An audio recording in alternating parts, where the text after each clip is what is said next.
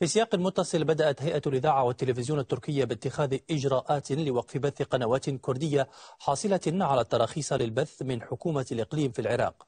وأوضح مسؤولون في الهيئة أن أسباب إيقاف بث القنوات الكردية يرجع إلى قيام الأخيرة باستخدام عبارة منطقة كردستان في إشارتها لمنطقة جنوب شرق الأناضول وبث برامج وتوصيفات تحمل طبيعة انفصالية عبر وضع أسماء أخرى لمناطق داخل حدود الجمهورية التركية.